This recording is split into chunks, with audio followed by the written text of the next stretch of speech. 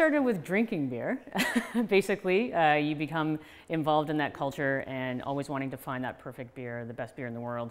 You evolve your palate, and then we started home brewing and, and trying to do the, trying to replicate that same sort of the best beer that you can make. And we got involved with some of the when we were living in Halifax. Uh, got involved with some of the craft breweries there. Talked to the head brewers in those locations. Became even more involved on the commercial side, helping out apprenticing with different breweries. So that kind of started that business aspect that got us really excited that we could do this. Uh, well, we like again we came to Newfoundland for different reasons, but we basically um, fell in love with the the rural lifestyle, the atmosphere, the, the raw beauty of Newfoundland.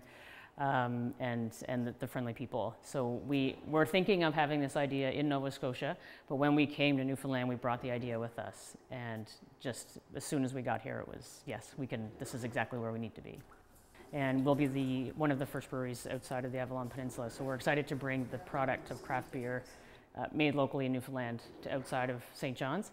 The, the, the buzz and the excitement about craft beer has evolved for different reasons, whether that be craft beer enthusiasts starting their own homebrew clubs and getting people interested and excited. And um, we've kind of seen the, the wave coming from the west coast of Canada towards the east coast.